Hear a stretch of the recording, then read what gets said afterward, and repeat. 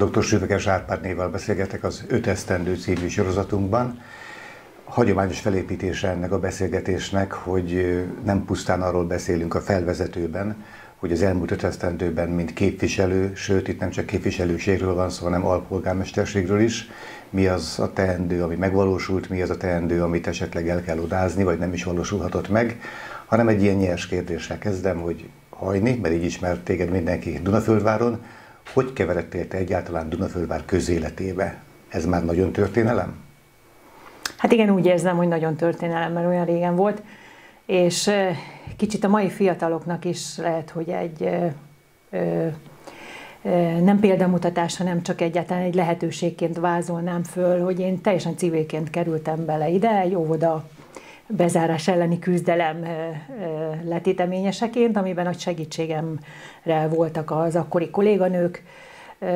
Itt a szomszédban lévő óvodával kapcsolatban történtek az önkormányzat részéről olyan lépések, amit mi szülők nehezményeztünk, és azért összefogtunk, elmentünk az oktatási ombudsmanhoz, oktatási minisztériumba,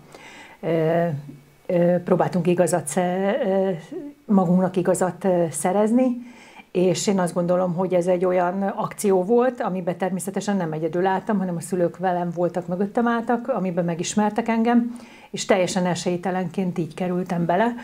És az az eset tanított meg engem arra, hogy amennyiben én felelősnek érzem magam a környezetemért, akkor mivel a politikai rendszer így működik, ahogy működik, tehát választási rendszer folytán, meg kell mérettetnie magát az embernek, és meg kell próbálnia a döntéshozatal közelében lenni, hogy valóra váljanak azok a tervek, álmok, amiket szöveget.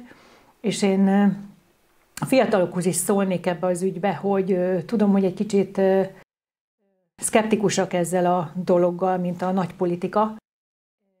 Igazat is adok nekik egyébként, tehát együtt tudok érezni velük, de mégiscsak gondolkodjanak el azon, hogy Nekünk egyre inkább múltunk ez, amit magunk mögött hagyunk.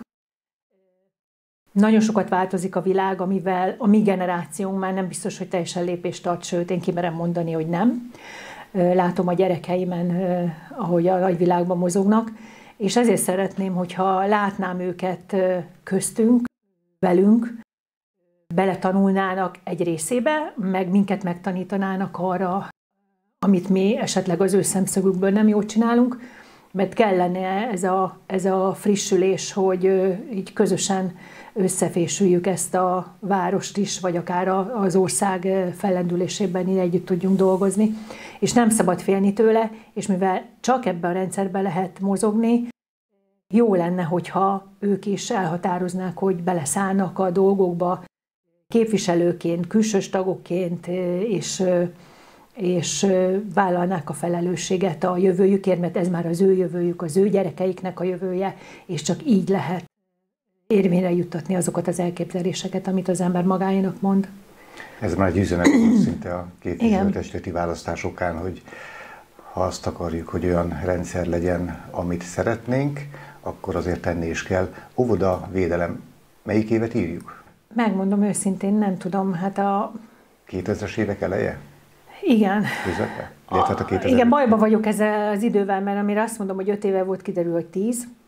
Tehát volt két ciklusom mezei képviselőként, és akkor ez a egy fél alpolgármesterként még egy egész, és mostani szintén alpolgármesterként, ami természetesen azért egy más dolog, és bele kellett tanulni, tehát ezt őszintén megmondom, aki nagyon nem mozgott még államigazgatásba, vagy akár mondjuk a gazdálkodáshoz, jogi környezethez nem sok köze van a munkája folytán, azért annak kell egy idő, míg eligazodik ebbe a rendszerbe, és átlátja.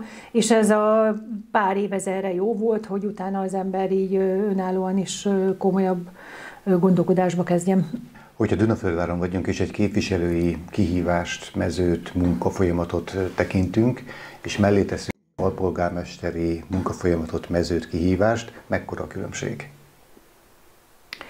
Hát nagyon komplex az alpolgármesteri munka, azt gondolom, hogy mindenben ott kell lenni, és egy kicsit nő vagyok, nem is fogom megtagadni.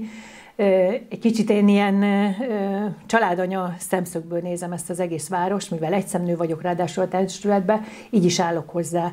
Ugyanúgy felelősséggel vagyok a város dolgaiért, legyen az egészségügy, oktatás, gazdálkodás, beruházások, mint hogyha a saját családi gazdaságról, meg a családomnak a menedzseléséről lenne szó. Tehát ilyen értelemben az, hogy sok színű, sokrétű, az nem idegen tőlem, és ennyiből nekem nagyon kézre esik ez a, a feladat, és próbálom ugyanazzal a lelkiismerettel, ahogy így családanyaként próbálom menedzselni a saját családomat, úgy csinálni. Tehát volt olyan időszak, pusztán képviselő voltál, Igen. és volt olyan időszak, amikor alpolgármesterré lettél. Ott szorzó számot gondoljunk, hogy egy alpolgármesteri jelenlét az jóval nagyobb a város életében, mint egy sima képviselői? Szerintem ez polgármestertől is függ. Képviselőként elsősorban én az oktatás egészségügy felé orientálódtam, nem idegen tőlem a, a gazdálkodás, ez a szakmám, meg a, a beruházások sem, mert ezt meg úgy magánúton nagyon sok mindenbe veszek részt, tehát van benne azért tapasztalatom. De attól is függ, ugye, hogy képviselőként is, hogy kinek mennyi feladata van, hogy mit ad neki mondjuk a polgármester. Én azt látom, hogy az utóbbi években azért ez a képviselői csapat egy team munkába dolgozik, és a különböző bizottságok elég erőteljesen kapnak feladatokat, amiket ő nekik egyénileg végig kell gondolni, akár egy-egy rendezvényt például Kislajáik levezényelnek, egészségügybe az egészségügyes kollégákat bevonjuk, szociális munkába, a szociális szférába dolgozókat, és én úgy látom, hogy meg egyébként is nekem ez szakmailag is a véleményem, hogy akkor érzik maguknak a döntéseket az emberek, hogyha abba bele vannak vonva. Tehát az, hogy eldöntünk valamit és kiadjuk nekik a feladatot, én azt kontraproduktívnak érzem. Sokkal, sokkal komfortosabb így ez a munka, hogy mindenki magáinak érzi, és van feladata. És azt tényleg komolyan gondolja, nem csak falból működnek a bizottságok, hanem valós komoly munkát végeznek. És én azt érzem, hogy az utóbbi években, az utóbbi tíz évben a bizottsági tagok komolyan be vannak vonva az önkormányzat körüli tevékenységekben, munkákba, feladatokba, és ez, ez egy jó, jó folyamat. Nem biztos, hogy minden városban így van egyébként, és az én képviselői munkám folytán se volt mindig így, de ez most hál' Istennek így alakult, és én ezt jó dolognak tartom. Elmondom, hogy hogy értelmezem én a válaszodat. Tehát az, hogy te alpolgármesterré lettél a képviselőséghez képest, azt, annak az eredményeként azt tudod be, hogy jóval szervezettebb lett, és nem arról van szó, hogy neked a munkamennyiséged meg a felelősséged megszaporodott, ha bár nyilván megszaporodott, hanem ezt sikerült kiterjeszteni a többi képviselőre meg a bizottságokra. Tehát egyfajta szervező munkát tudsz magadénak. Igen, egyfelől igen, szervező munkát is. Mi vezetőként is azt gondolom, hogy a jó vezető az nem maga csinál mindent. A jó vezető megtalálja azokat az embereket, jól kommunikál velük, akik segítik az ő munkáját, a keze alá dolgoznak, és ez nem csak a képviselőtestületre igaz. Ez igaz a, a, az önkormányzat alkalmazottaira, igaz az önkormányzat cégeire, hogy jó kapcsolatokat kell ápolni, és jól együtt dolgozni, és meg kell bízni bennük aki egymaga csinál mindent, az előbb-utóbb beleszakad. És egyfelől nem lesz elég szükséges látóköre ahhoz, hogy jó döntéseket hozzon meg. Tehát ilyen értelemben meg kell hallgatni. Tehát ez szervezésbe is gondolom, és a, a mellettünk lévő képviselők felelőssége tekintetében is azt gondolom, hogy ha én most mezei képviselő lennék, akkor is több feladatom lenne, mint régebben. Tehát akkor te hiszel a feladat és hatalom megosztásban. Igen, igen. Mindenképpen. Mert Fontosnak tartom. Fontosnak tartom.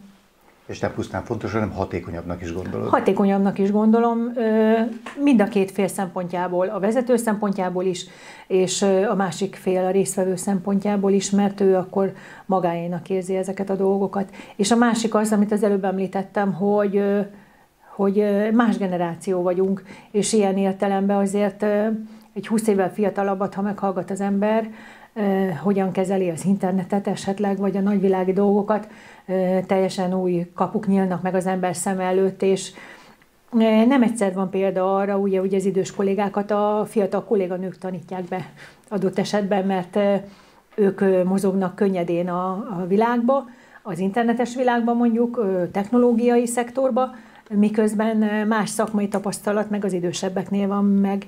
Ezért én most kicsit máshova kanyarodok el. A, a, az anyukáknak a munkába való elhelyezkedése és a, a, az örvendetes gyereklétszámnövelésben én nagyon fontosnak tartanám azt, hogy fél részmunkaidőben tudjanak dolgozni a kisgyerekes anyukák. Szerintem az egyik kulcsa ez lenne.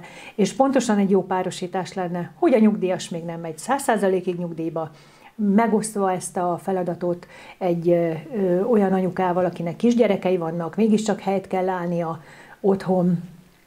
A mai fiúkon látom azért, hogy ők jobban részt vesznek a család, meg a gyerekek körüli teendőkbe, de azért Magyarországon klasszikusan a, az anyák viszik a házi munkát a hátukon. Amikor készültem erre a beszélgetésre, akkor sejtettem, hogy sok mindenről szó lesz, de egy dolgot kijelöltem magamnak, és ezt mindenképpen meg fogom kérdezni, hogy hogyan reflektálsz erre az ügyre. A karakteredről van szó, jól látom el a következőt. Arról van szó, hogy az, az értékrended és az amellett való kiállásod, az milyen jelzőt is használjak, mondhatni, hogy nagyon heves és forradalmi. És mindenképpen megelőzi a, ennek a való kinyilatkoztatása, az utána való elrendezés, tehát néha neki még egy ügynek, aztán meglátjuk, hogy azt hogyan le- lehet rendbe tenni, akár jogszabályok tekintetében, akár az emberi feltételek tekintetében, de, de ez, a, ez, a, ez a lobbanékonyság, ez jellemez téged, és utána, ha persze nem kérdés az, hogy jó irányba lobban-e az ember, de hogyha jó irányban lobban, akkor utána lehet rendezni az ügyeket. Jól látom ezt, kísérez téged, és tudsz-e magadról ilyesmit? Igen, ezzel én tisztában is vagyok. És azzal is tisztában vagyok, hogy az önkormányzatiság, mint rendszer, azért bizonyos kereteket ad az embernek, meg néha fogda. Én mivel a vállalkozó szektorból jövök, én azt szoktam meg, hogy minden tegnapra kell megcsinálni, és hatékonynak kell lenni. Ilyen értelemben nekem kicsit nehéz, és a lobbanékonyságom abból is adódik, hogy az, amit józanésszel az ember végig gondol és megcsinálna, arra jön egy jogszabály, és megakadályoz abban, hogy ez mellett a logikai vonal mentén én hatékonyan, gyorsan, precízen, gyorsan elintézzek mindent, és néha ez egy kicsit nehéz egyébként, megmondom őszintén. Pont a lányom vőlegényétől hallottam, hogy az Amazonnál négy fős maximum a tímeknek a száma, mert egyébként nem tudnak hatékonyan dolgozni. Tehát vannak, vannak dolgok, amit a versenyszférából érdemes lenne megfogadni. Látom itt is, hogy milyen hatékonyabban tudnak dolgozni adott esetben mondjuk a kisebb bizottságok, mint amikor nagyobb csapat között szétfolynak az információk. Mindenre ilyen értelemben nyitottnak kell lenni. Én azt látom, hogy a világ olyan ütembe változik, hogy ha nem megyünk a folyamatok után, bármennyire is nem tetszenek nekünk dolgok, a generációs különbségek folytán lemaradunk. Ez a lobbanékonyság és ez a tűz nem lohad. Hm.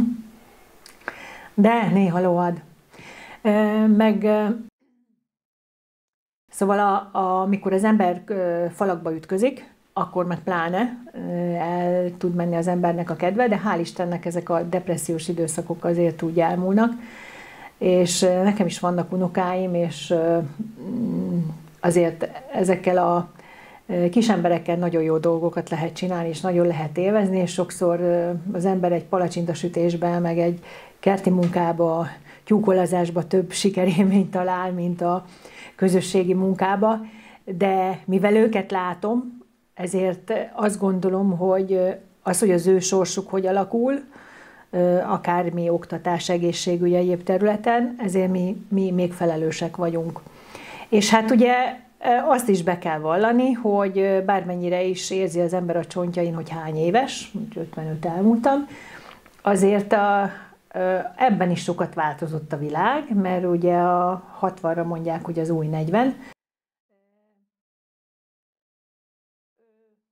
Nyugat-Európába vagy Észak-Amerikába karriert kezdenek ebbe az életkorba, új karriert vagy új szakmát, Szerintem ez begyűrűzik egyébként hozzánk is, hogy az emberek sokáig fognak dolgozni, ha vigyáznak az egészségükre, ami nagyon fontos lenne szerintem az egész ország számára, hogy jó egészségi állapotban legyenek az állampolgárok, akkor időskorban is nagyon jó dolgokat tudnak véghez vinni.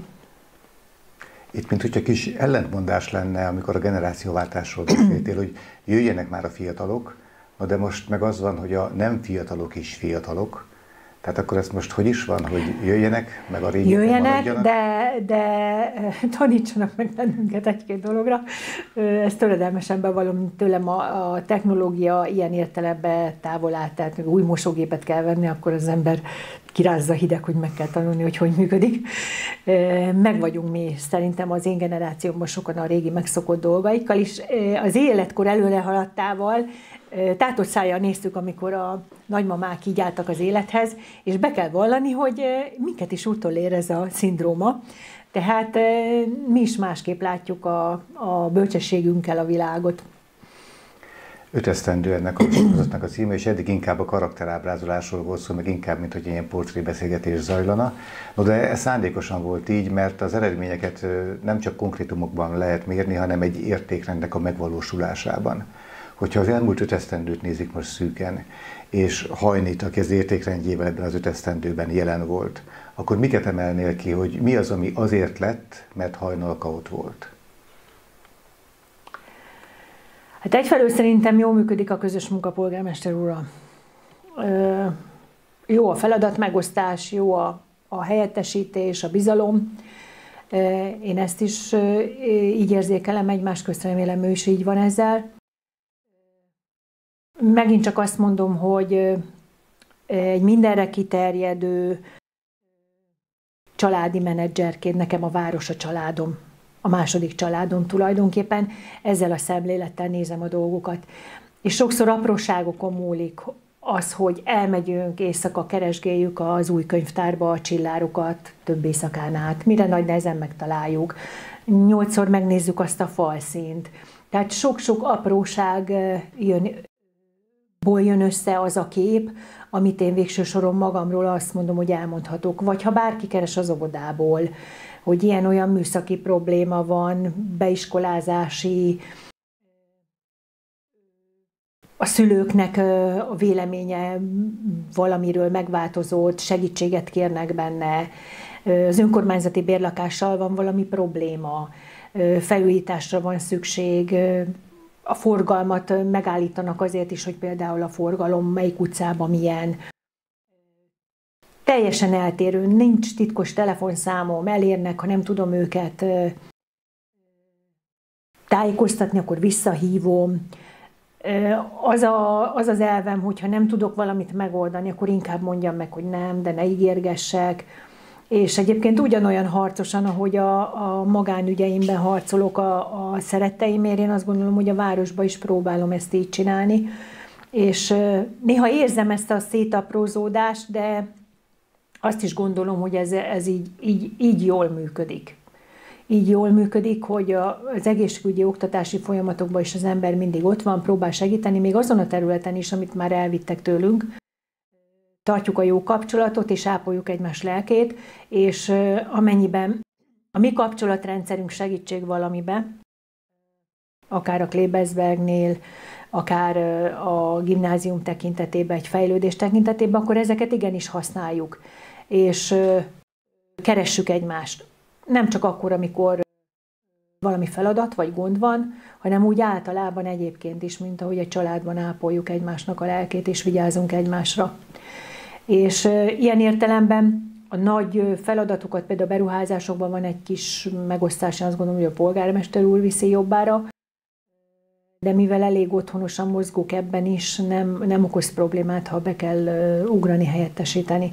Tehát én nem, nem látok szakterületeket, amiben részt kell venni. Elsősorban ugye az oktatás, egészségügy, szociális szféra az közelebb áll hozzám lelkileg, de egyébként minden területen amilyen feladat adódik, azt meg kell oldani. Szóval én ebben szocializálódtam, úgyhogy akkor is meg kell oldani, ha nem értek hozzá, akkor segítséget kell keresni, tovább kell képeznem magam abba az ügybe, meg kell kérdezni a kollégákat, mi az ő tapasztalatuk, ők hogyan látják a helyzetet, közösen vonjuk le a konklúziót, tehát ilyen értelemben nincs lehetetlen, azt gondolom. Most kihasználom azt, hogy már évek óta, netán évtizedek óta rálátásod van a Dunaföldvári közéletre.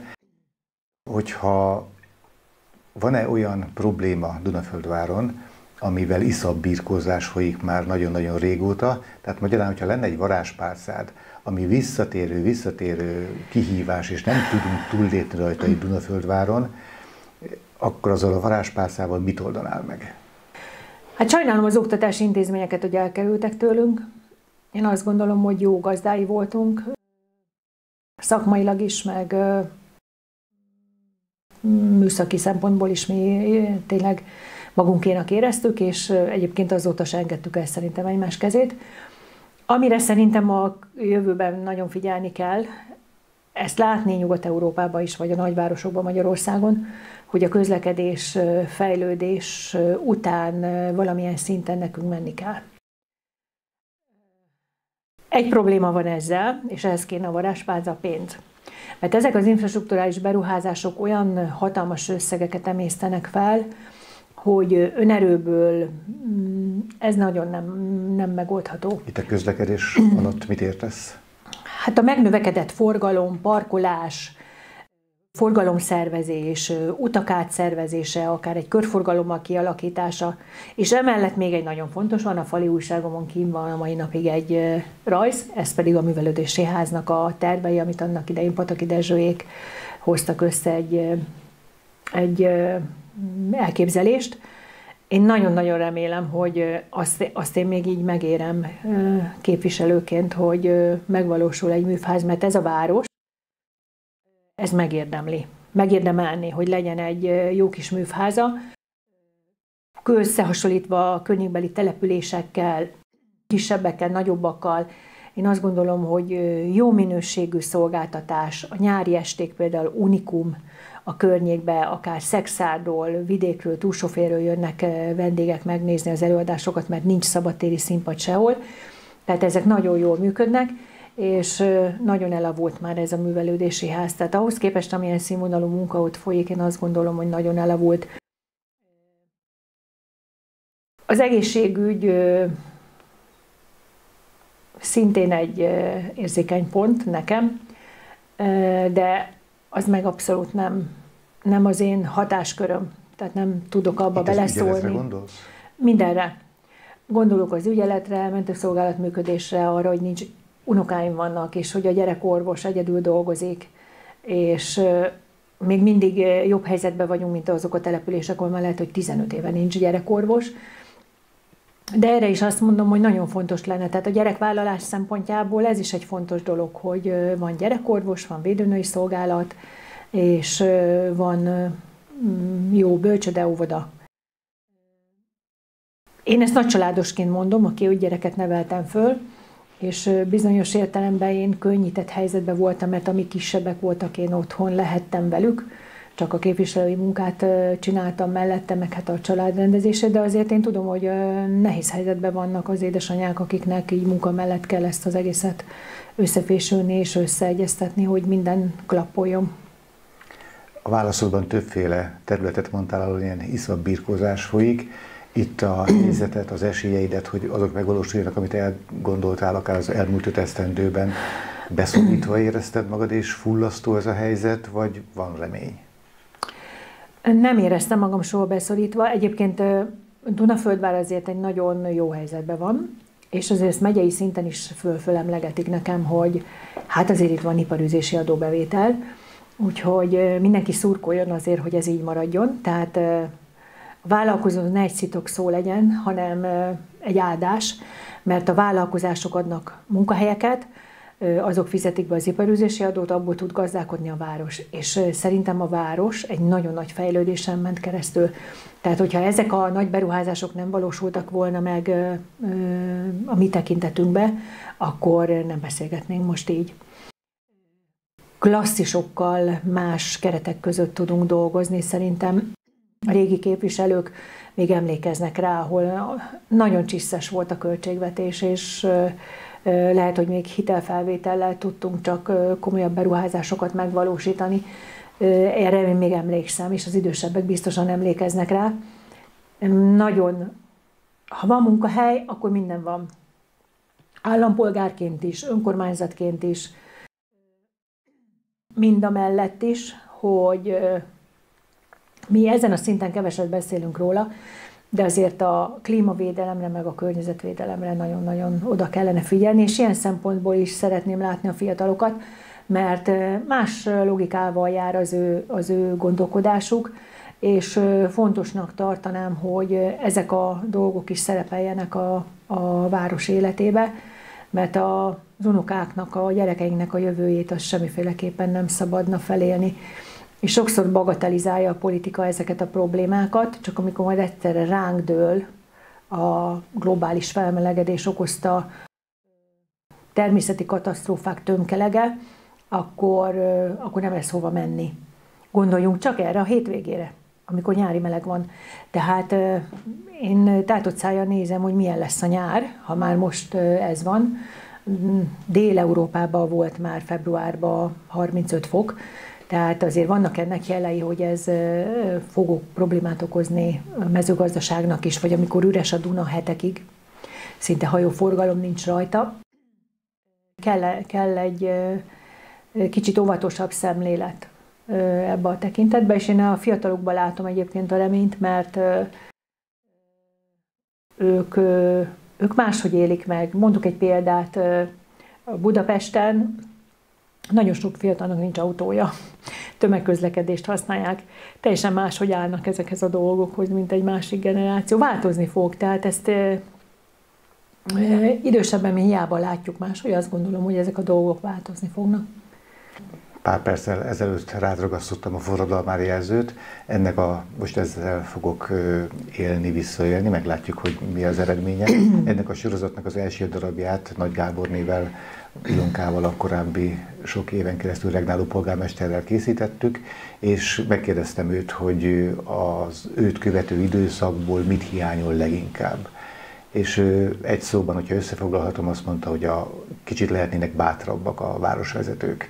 Szerinted hányadán állunk mit forradalmár ezzel a bátorsággal? Tehát beleugrik-e a fejlesztés során ez a város mindenbe, amibe kell, vagy inkább a kockázattól visszalép, akár annak megoldása érdekében, hogy itt a klímaváltozásokán milyen bátor lépésekre lenne szükség. Szóval a bátorsággal hányadán áll, nem pusztán hajnaka, hanem az egész városvezetés.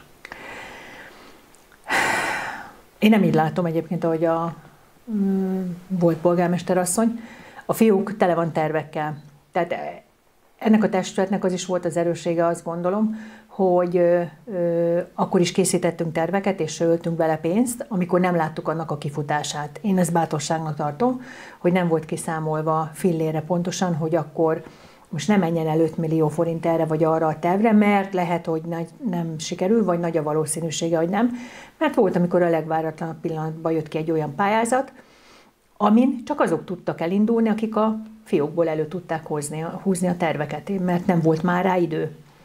Tehát ilyen értelemben nem látom a bátortalanságot, realizmust azt látok, és azt is, hogy minden létező lehetőségbe belekapaszkodunk. Mindenbe. Ami, amin lehet elindulunk, ez látszik a költségvetésen, ha valaki komolyabban figyelemmel kíséri, hogy adott esetben egy pályázathoz hozzá van rendelve bizonyos keretösszeg, és akkor jönnek vissza a kollégák, hogy visszadobták, nem sikerült, akkor visszakerül az az összeg a nagy kalapba. Tehát aki komolyabban figyeli ezeket az eseményeket, az láthatja, hogy harcolunk mi ezekért a dolgokért, de én azt gondolom, hogy az utóbbi két évben különösen, és a Covid nagyon sok mindent megváltoztatott, nem a Covid alatt egy, egy ilyen félig alvó állapotban működött minden, teljesen ugye központi irányítással, én magam jártam például tesztelni a kollégákat a legelején, amikor az önkormányzatnak voltak, akár hétvégén, hogy tudjanak menni az óvodába, bölcsödébe dolgozni. Tehát ilyen szinten dolgoztunk. A Géci Lackó szintén beszállt gyakorlatilag az önkormányzati feladatokba, és ő is, ha szükség volt rá, azonnal ment. Nem, nem egészen értem egyébként ezt, hogy miben nem vagyunk eléggé bátrak. hitel nincs egyébként, tehát ö, olyan értelemben nem lehet bátornak lenni, hogy én kitalálok valami beruházást, és fölveszek 500 millió forint hitelt is megcsinálom, mert erre kormányzati engedély kell. Tehát annak az időszaknak vége van. Folyószámla hitel lehet, de mivel ilyen hektikus a gazdaság működése, ez, ez meg nem játék. Tehát azt gondolom, hogy ez, ezzel is felelősség teljesen úgy, ahogy a családi költségvetésbe eljárunk, úgy kell eljárni. És míg a tavalyi év mondjuk kiemelkedően jó adóbevételeket hozott, az idei évben látjuk az ellenkezőjét. És ez a tücsök és a hangya effektus, hogy aki nem rakott félre arra, hogy a megemelt szociális hozzájárulását, mint önkormányzat be tudja fizetni, az ilyenkor nagy bajba kerül. Tehát a gazdálkodás is nagyon nehezen tervezhető folyamat, mert bár nem gazdálkodó szervezet az önkormányzat, de gyakorlatilag a gazdálkodó szervezeteknek a jó vagy rossz működéséből, sikeréből vagy sikertelenségéből él. És ilyen szempontból nagyon nehéz tervezni. Egy kicsit mindig meg kell győzni a képviselőket, hogy várjuk meg, amikor az adóévből bejönnek a jelzések, hogy mennyi iparüzési adó lesz, és akkor utána azokból a fiókban lévő tervekből lehet egy kicsit elővenni és megvalósítani mert előre, a medvebőrére inni, én azt gondolom, hogy nem lehet. Ezt, ezt én felelőtlenségnek tartanám. Többről volt szó, mint az elmúlt öt esztendő. Kihúztuk azt az értékrendet időben, eh, egészen a múltba, és most kicsit a jövőbe is átoljuk. Aki egy olyan mondatot mond, hogy a 60 az új 40, akkor ott nem kérdés, hogy a neve szerepelni fog-e a júniusi önkormányzati választások jelöltségi listáján. Nem tudom, érthető volt-e a kérdés. Igen. Igen, hitem szerint igen. Igen, szerepelni fog, pontosan látva a környezetünkben lévő folyamatokat. Még azt hiszem, hogy utoljára megmérettetem magam. Minden mellett, amit mondtam, hogy nagyon várnám azokat a fiatalokat, akiknek kicsit más rugóra jár az agyuk már, mint a miénk, hogy mi is tanuljunk tőlük, ők is, tanul, ők is tanuljanak tőlünk és nehéz alkalmazkodási folyamatnak tartom. Azért, azért a gyerekeim révén belelátok abba, hogy például egy pesti elitiskolában milyen színvonalon működik egy oktatás, tanítás, és föl van adva lecke. Tehát mikor egy ötödikes gyerek akcentus nélkül beszél angolul helyesebben, mint az angol tanárnő, az, az, az, egy, az egy nehéz helyzet, és ez, ezekkel fognak a mi gyerekeink versenyezni, amikor bekerülnek a felsőoktatási intézményekbe. Felsőoktatás tényleg eszembe jutott. Én mindig egy kicsit hátrányos helyzetbe érzem magunkat, így vidékieket.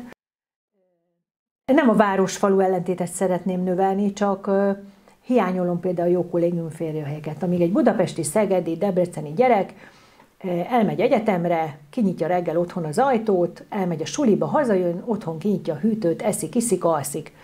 Mi pedig odaadjuk a pénzt a buszra, vonatra, szállásra, lakhatásra, és a hűtőszekrényt sem tudja kinyitni, úgyhogy még a kajára is. Tehát azt gondolom, hogy egy vidéki gyereknek a felemelkedése és a továbbtanulása sokkal többbe kerül a családnak, mint amennyi egy városi gyerek esetébe kerül.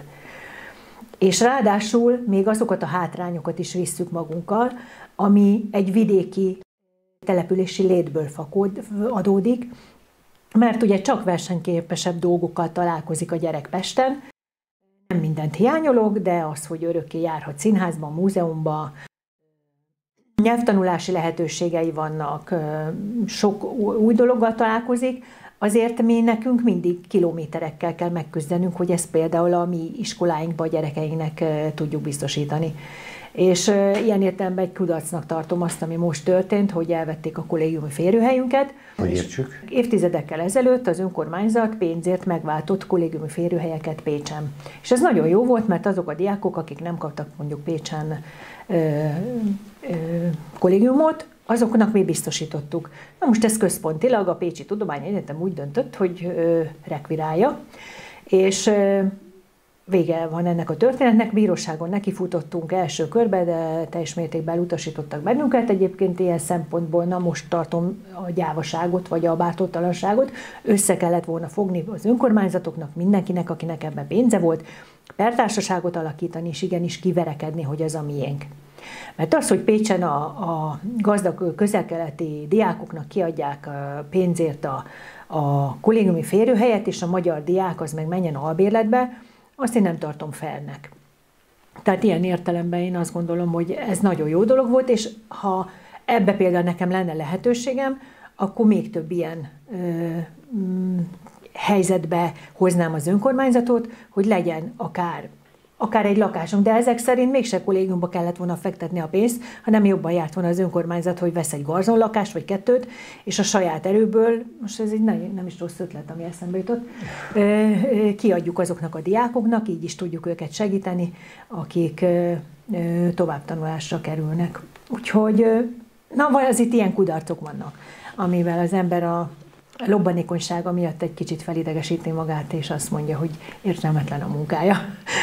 Frankó lett a végén ez a, ez a példa, hogy egészen apró dolgok, egészen nemzetközi összefüggéseket hoznak be, tehát egy kollégium férőhely fölvárinak, magyarnak, határon túlinak, európai határon túlinak ilyen jelentőségekkel bír. Tehát vannak itt kihívások, arcba dobták a kesztyűt, leesett, és dr. Süveges Árpádné júniusban ezt a kesztyűt felveszi. Igen.